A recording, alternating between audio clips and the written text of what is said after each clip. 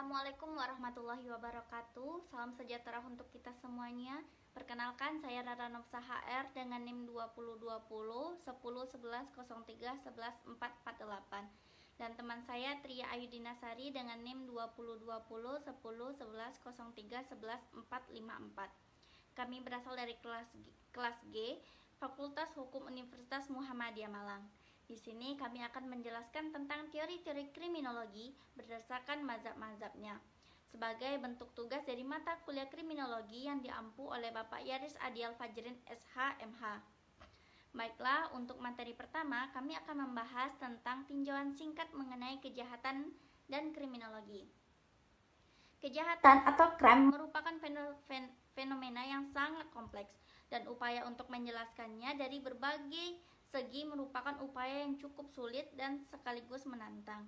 Nah, kejahatan ini adalah tiap kelakuan yang merugikan atau merusakkan dan asusila, yang mana akan menimbulkan kegoncangan yang, yang sedemikian besar dalam masyarakat tertentu, sehingga masyarakat itu berhak untuk mencela dan mengadakan perlawanan terhadap kelakuan tersebut dengan jalan menjatuhkan dengan sengaja suatu nestapa atau penderitaan terhadap pelaku perbuatan tersebut sebagai bentuk pembalasan atau yang dikenal juga dengan istilah pidana. Nah, untuk kejahatan ini, istilah kejahatan ini terbagi atas tiga, yaitu yang pertama secara praktis adalah suatu perbuatan yang dilakukan oleh seseorang yang melanggar ketentuan hukum atau peraturan perundang-undangan terhadap pelakunya yang akan dikenakan sanksi pidana. Lalu yang kedua yaitu secara religius adalah suatu pengertian yang mengidentikan jahat dengan dosa, yang mana jahat dan dosa ini merupakan sinonim. E, jadi, berbuat jahat adalah dosa, dan juga sebaliknya, berbuat dosa adalah kejahatan. Lalu, yang ketiga yaitu secara yuridis, adalah suatu perbuatan yang melanggar hukum atau dilarang oleh undang-undang. Nah, berikut adalah video beberapa contoh dari kejahatan. Thank you.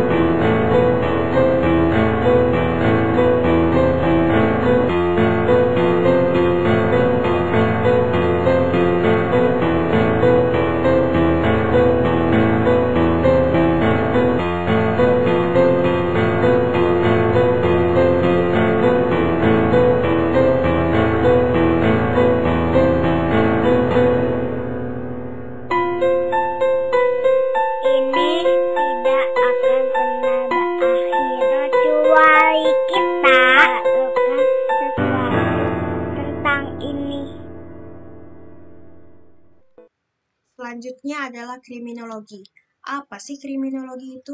Kriminologi berasal dari kata crime atau kejahatan dan logos adalah ilmu pengetahuan. Jadi, kriminologi adalah ilmu pengetahuan tentang kejahatan. Kriminologi sendiri terbagi menjadi dua, yaitu kriminal ideologi dan kriminal politik. Kriminal etiologi adalah ilmu yang mempelajari sebab-sebab timbulnya kejahatan yang terbagi atas antropologi kriminal dan sosiologi kriminal. Antropologi kriminal adalah ilmu pengetahuan yang mencari sebab-sebab kejahatan pada mereka yang melakukan kejahatan. Sosiologi kriminal adalah ilmu pengetahuan yang mencari sebab-sebab kejahatan di dalam sifat dan keadaan masyarakat itu sendiri. Yang kedua adalah kriminal politik. Kriminal politik adalah ilmu pengetahuan yang mempelajari cara pemberantasan kejahatan.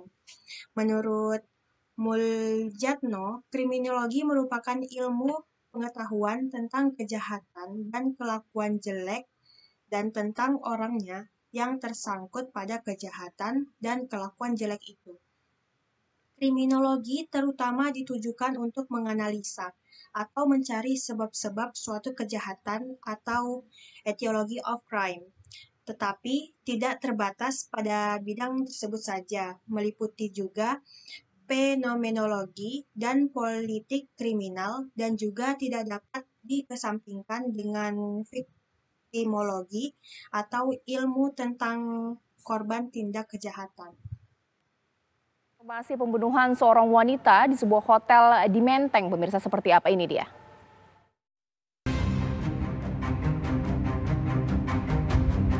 Sesosok wanita muda ditemukan tewas mengenaskan di dalam kamar hotel di kawasan Menteng, Jakarta Pusat, Rabu sore. Saat ditemukan kondisi korban tanpa busana dengan posisi terbaring di atas ranjang dengan wajah tertutup bantal. Polisi dari Polres Metro Jakarta Pusat dan Polsek Menteng langsung melakukan olah TKP dan membawa jenazah korban ke Rumah Sakit Polri Kramat Jati. Saat polisi olah tempat kejadian perkara, terungkap identitas korban. Wanita yang berusia 30 tahun ini diketahui asal Pekalongan, Jawa Tengah dari kartu identitasnya bernama Ida Wasila Anata. Kuat dugaan korban tewas akibat dibunuh karena ada luka memar serta bekas cekikan di lehernya. Sampai saat ini polisi masih terus mencari pelaku yang diduga membunuh korban. Petugas juga meminta keterangan sejumlah saksi termasuk memeriksa rekaman CCTV.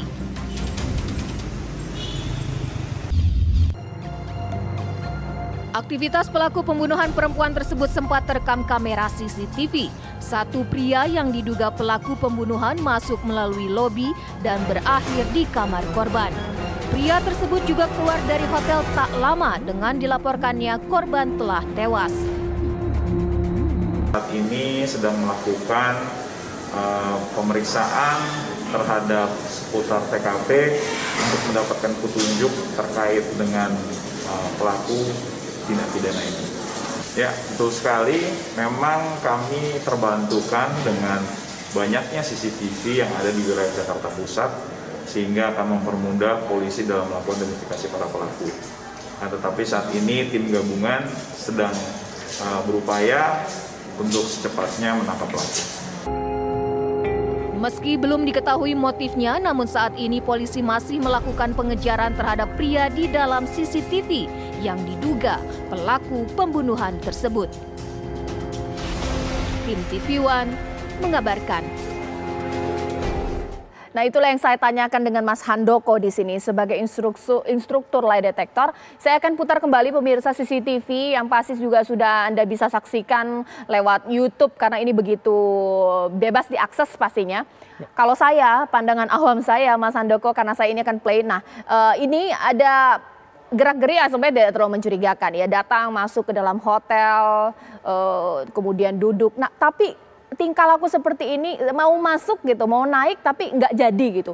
Apakah secara pandangan Mas Handoko ini menunjukkan keraguan-raguan atau mungkin apa ya? Oke, kalau bicara keraguan-raguan, iya artinya hmm. uh, ada ketidakpastian. Salah satu kemungkinannya adalah ketidakpastian ini mau ke lantai berapa, ke ruangan berapa, kapan, siapa yang ditemui mungkin dan seterusnya. Hmm. Berarti kalau bisa dikatakan dengan ada keraguan-raguan tidak ada perencanaan?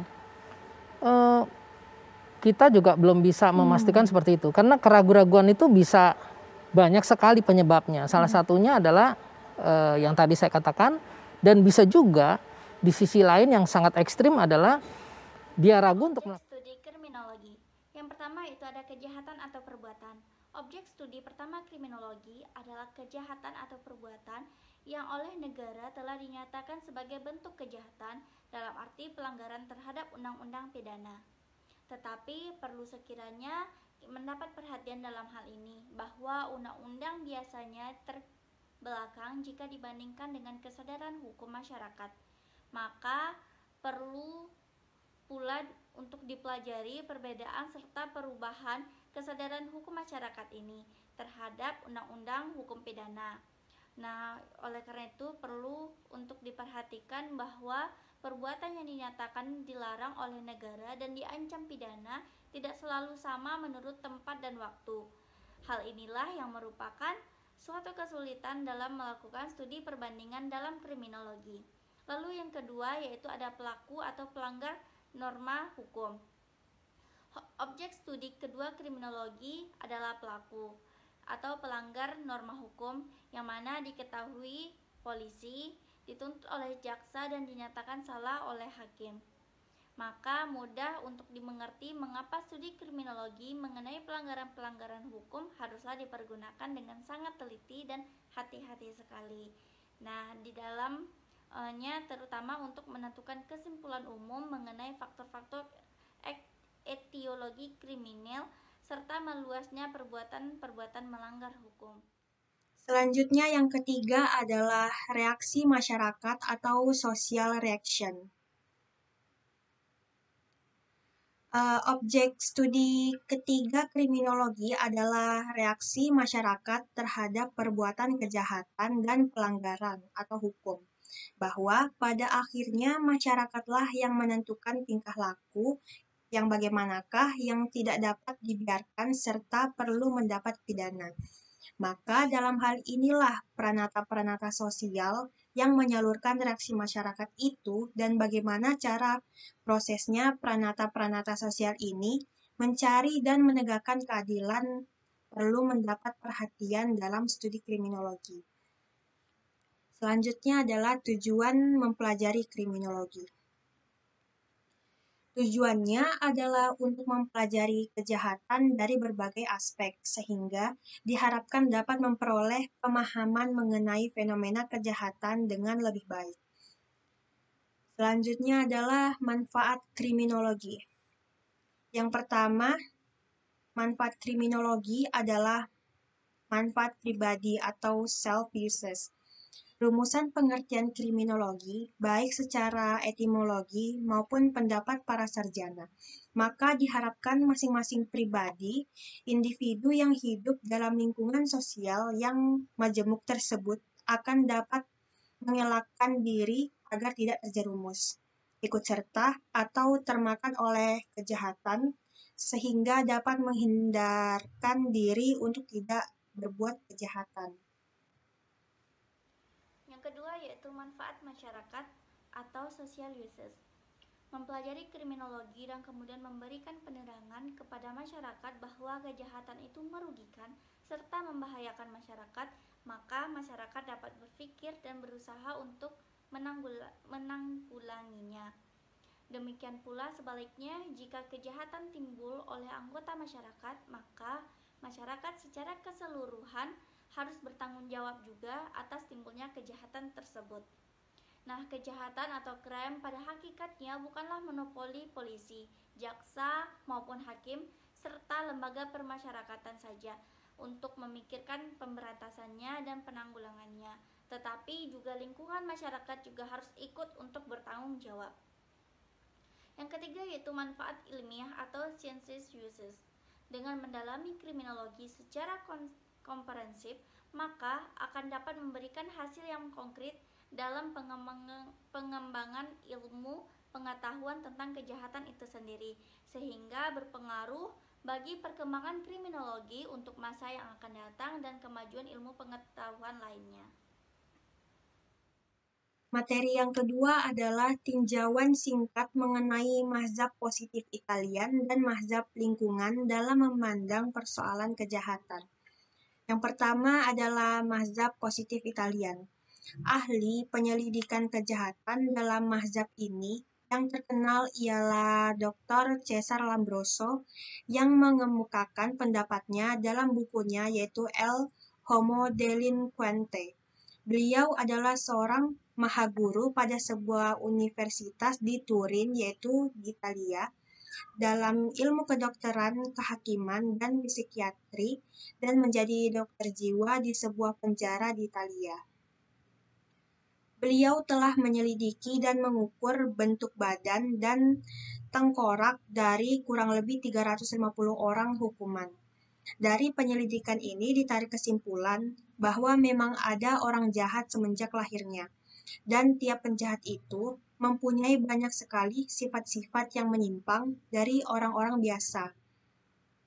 Misalnya, dapat terlihat dari keadaan fisiknya atau badannya, yaitu yang pertama, kening kepala yang menonjol ke depan dan dahi agak miring. Yang kedua, mata kecil yang letaknya sangat dalam, yang berada pada rongga mata besar. Yang ketiga, rahang yang menonjol ke depan. Yang keempat, lubang hidung yang terlalu besar. Dan yang kelima adalah rambut keriting. Pendapat Dr. Keser Lombroso mengenal sebab-sebab kejahatan. Sifat-sifat menyimpang menurut Lombroso terjadi karena keturunan atau orang itu dilahirkan sebagai penjahat. Orang-orang yang mempunyai sifat-sifat tersebut adalah orang-orang yang akan ke atau kemungkinan dapat untuk menjadi penjahat. Orang-orang yang mempunyai sifat-sifat tersebut atau yang memenuhi syarat-syarat tersebut ada untuk kemungkinan dan dikhawatirkan akan menjadi penjahat, baik lambat maupun cepat dan dan dikatakan bahwa orang itu mempunyai tipe Lombroso. Sebab-sebab dari kejahatan dicari pada diri orang, yaitu pada bentuk rupa dan bentuk mukanya atau pada keadaan jiwanya yang selalu menyimpang dari kebanyakan orang lain, yang mana si penjahat dipandang sebagai manusia yang lebih rendah derajatnya daripada manusia biasanya. Nah, menurut Lombroso, orang itu menjadi penjahat karena ia dilahirkan seba karena memang ia itu dilahirkan sebagai penjahat atau goberan misdagger. Pendapat Lombroso ini mendapat perhatian dari masyarakat, tetapi juga dicela keras karena tidak setiap orang yang memenuhi syarat-syarat dari penjahat dari Lombroso ini menjadi penjahat. Yang mana lama-kelamaan ternyata bahwa kesimpulan Lombroso itu banyak kesalahannya karena penyelidikannya ditekankan pada faktor perseorangan atau mencari sebab-sebab kejahatan pada diri si penjahat itu sendiri. Mahzab lingkungan menurut Lakasen.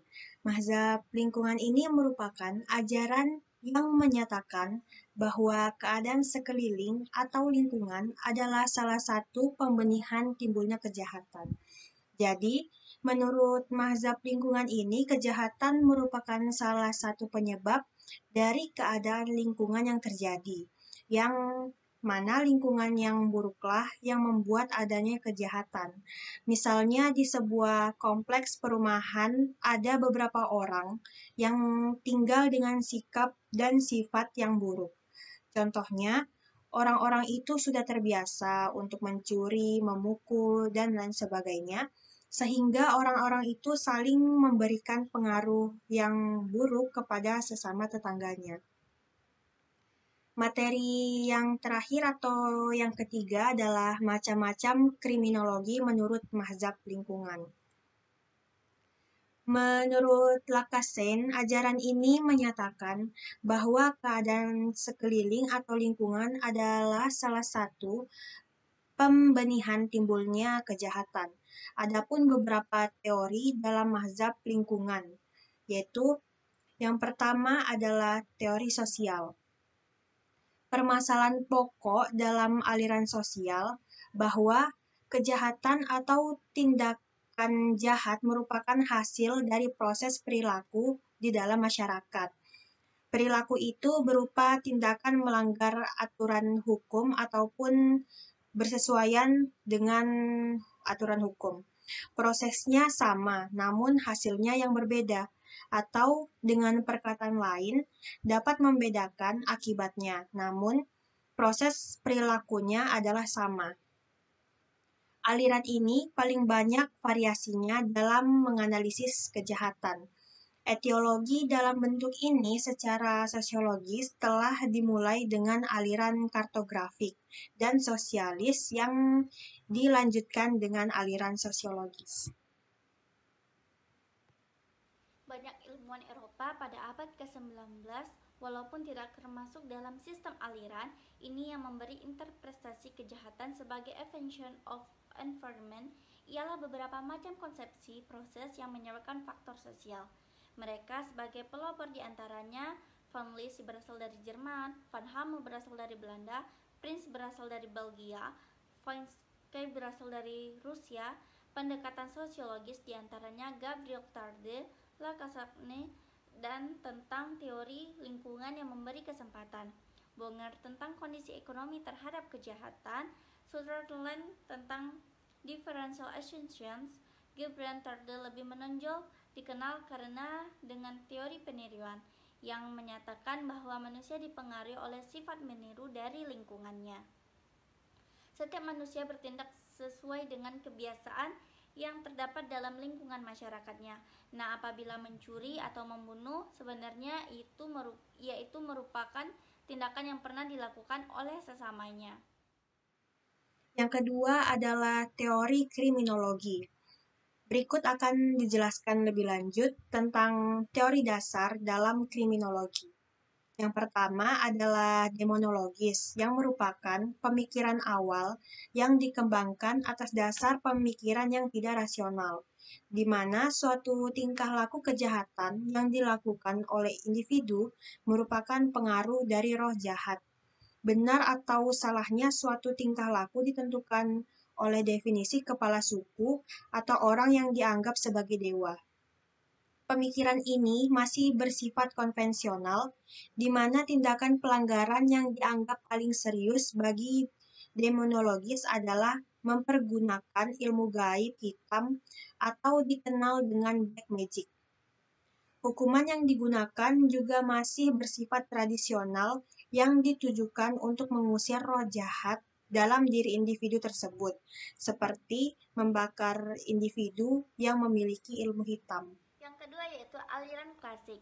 Nah, aliran klasik ini merupakan label umum untuk kelompok pemikir tentang kejahatan dan hukuman pada abad ke-18 dan awal abad 19. Yang mana anggota paling menonjol dari kelompok pemikir tersebut adalah Cesar Beccaria dan Jeremy Bentham yang mana dua pemikir ini mempunyai gagasan yang sama bahwa perilaku kriminal ini bersumber dari sifat dasar manusia sebagai makhluk hidup yang hedonistik sekaligus rasional.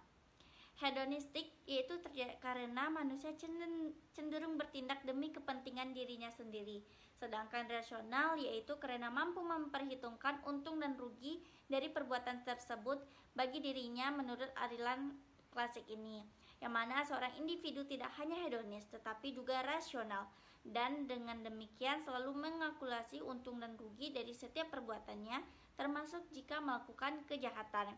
Nah, kemampuan ini memberikan mereka tingkat kebebasan tertentu dalam memilih tindakan yang akan diambil apakah melakukan kejahatan atau tidak.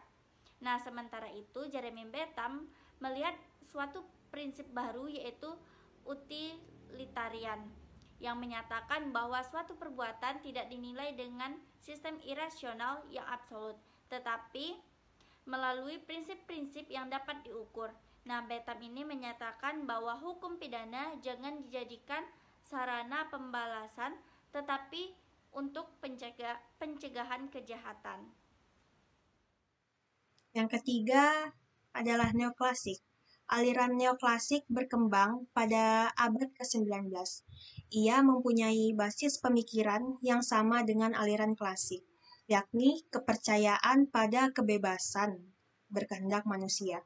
Doktrin, doktrin dasarnya sama dengan aliran klasik, yakni bahwa manusia adalah makhluk mempunyai rasio berkehendak bebas karenanya bertanggung jawab atas perbuatan-perbuatannya. Meski demikian, terdapat sejumlah revisi yang dilakukan terhadap inti ajaran aliran klasik. Perubahan-perubahan tersebut antara lain adalah perbuatan pada doktrin kehendak bebas. Bagi aliran neoklasik, dalam melakukan suatu perbuatan jahat, pelaku tidak hanya ditentukan free will semata, tetapi juga dipengaruhi oleh patologi, yaitu ketidakmampuan untuk bertindak, sakit jiwa, atau lain-lain. Keadaan yang mencegah seseorang untuk memperlakukan kehendak bebasnya. Dan yang kedua, premeditasi, yaitu niat yang dijadikan ukuran dari kebebasan kehendak. Akan tetapi, hal ini berkaitan dengan hal-hal yang aneh atau irasional, sebab jika benar, maka maka pelaku tindak pidana baru untuk pertama kali harus dianggap lebih bebas untuk memilih daripada residivis yang terkait oleh kebiasaan-kebiasaannya. Oleh karena itu, harus dilakukan lebih berat. Yang kedua, pengakuan adanya keadaan-keadaan atau keadaan mental dari individu. Yang ketiga, perubahan doktrin tanggung jawab sempurna yang mendasari pembalasan dalam aliran klasik. Bagi pemikir neoklasik, kesalahan tidak boleh ditimpakan sepenuhnya kepada pelaku, sebab biasanya seorang yang melakukan kejahatan karena faktor lain seperti kegilaan, kedunguan, usia, dan lain-lainnya, keadaan yang mempengaruhi pengetahuan dan niat pada waktu seseorang melakukan kejahatan. Yang keempat yaitu dimasukkan keterangan ahli dalam acara pengadilan untuk menentukan besarnya tanggung jawab apakah si terdakwa mampu untuk memilih antara yang benar dan yang salah. Empat yaitu determinis merupakan suatu penjelasan mengenai kejahatan bahwa tingkah laku jahat itu merupakan pengaruh dari adanya faktor-faktor tertentu yang terdiri dari beberapa paradigma. Yang pertama yaitu positif. Salah satu tokoh yang terkenal dalam paradigma positif ini adalah Kaiser Lombroso yang mana menghubungkan antara tingkah laku jahat dengan kondisi biologis atau fisik seseorang. Yang kedua yaitu interaksionisme. Dalam paradigma paradigma ini, tingkah laku jahat merupakan definisi dari hasil interaksi yang mana seseorang dianggap jahat ketika orang lain melihat bahwa tingkah laku orang tersebut adalah jahat atau menyimpang. Nah, teori yang terkenal pada paradigma interaksionis ini adalah teori labeling, yang mana tokoh-tokohnya antara lain adalah Edwin Lemert, Becker, Kitusus, and Goffman. Selanjutnya yaitu konflik. Dalam penjelasan ini, tingkah laku jahat merupakan suatu definisi yang dibuat oleh penguasa terhadap tingkah laku di mana hal tersebut ditujukan untuk kepentingan penguasa. Tokoh-tokohnya antara lain yaitu Bonger, Queenie, Taylor, Paul, dan Jeyong. Selanjutnya ada postmodern kriminologi. Paradigma ini memandang bahwa kejahatan merupakan suatu konsep yang harus didekonstruksikan Tiga buah pendekatan dalam paradigma ini yaitu realisme, feminisme, dan konstitutif. Selanjutnya adalah budaya. Paradigma budaya meliputi tingkah laku jahat berbeda jika dilihat dalam konteks budaya yang berbeda pula. Jika pada suatu kebudayaan tertentu memandang suatu tingkah laku jahat, maka pada kebudayaan lain belum tentu dipandang juga sebagai kejahatan. Yang ketiga yaitu teori lingkungan. Dalam mazhab lingkungan, menurut Laksakne, Manuver, and Gitarde, yang menekankan pentingnya faktor lingkungan. Ungkapan yang terkenal dari Laksakne ini adalah masyarakat mempunyai penjahat sesuai dengan jasanya. Nah, ini berarti tergantung dari masyarakat sendiri dalam usahanya menghadapi kejahatan yang ada. Sedangkan penjahat ini akan dianggap kurang berperan. Dia itu akan nah, dia ini membandingkan penjahat sebagai bakteri yang mana apakah bakteri tersebut akan berkembang atau tidaknya. Nah, jikalau bakteri ini ditempatkan yang di tempat steril, maka tidak akan berkembang. Nah, dalam hal ini masyarakat diumpamakan sebagai tempat e, untuk meletakkan bakteri tersebut. Artinya, kriminologi bisa terjadi karena faktor lingkungan yang dapat mempengaruhi seseorang untuk berbuat kejahatan. Bisa terpengaruh oleh lingkungan tempat tinggal, lingkungan keluarga, lingkungan pertemanan, dan lain-lain. Faktor lingkungan sendiri adalah bahwa manusia masih melakukan kejahatan karena pengetahuan tentang kebajikan tidak nyata baginya. Ketergantungan seseorang pada lingkungan ini cukup memegang peranan, sampai-sampai orang Belanda mengatakan, apabila Anda ingin mengetahui latar belakang seseorang, maka cukuplah bertanya di mana ia bertempat tinggal. Terima kasih atas perhatiannya. Sebelumnya kami mohon maaf yang sebesar-besarnya apabila di dalam penyampaian tadi mungkin ada kesalahan kata atau beberapa pernyataan yang menyinggung kalian. Kami hanya manusia biasa yang tidak luput dari kesalahan. Demikian akhir presentasi kami. Semoga bermanfaat untuk kita semua. Semoga apa yang disampaikan barusan adalah awal untuk kita menerjang badai kehidupan. Terima kasih. Wassalamualaikum warahmatullahi wabarakatuh.